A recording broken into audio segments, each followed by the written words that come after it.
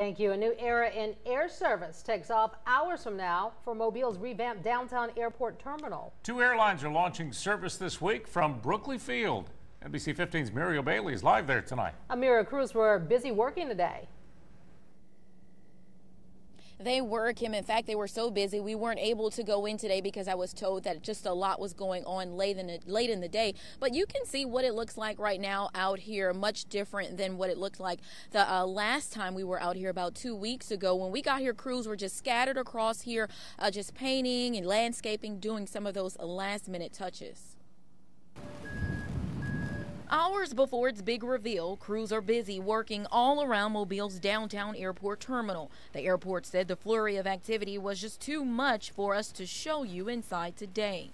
Well, we're just crossing T's and dotting I's, but we expect to be ready to go by noon tomorrow. Frontier's first flight to Chicago takes off at 2 tomorrow. Mobile Airport Authority President Chris Curry says at last check of 186 seats, 100 were booked. This will be the exit lane uh, for passengers arriving.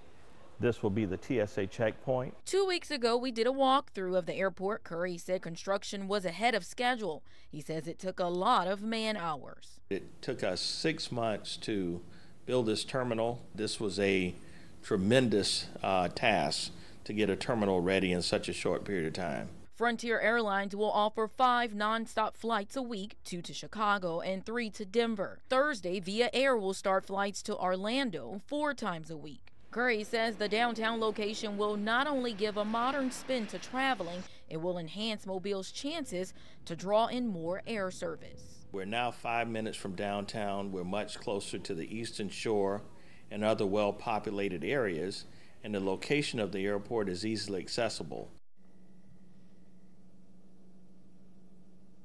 And the first two weeks of parking is also free for flyers. Greg, Kim?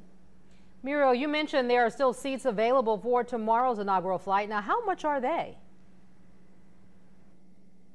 They are, Kim. Well, according to Frontier's website, it looks like they're starting at about $31, and that's for uh, a one way flight to Chicago. And then for Denver, it looks like it starts at about $45.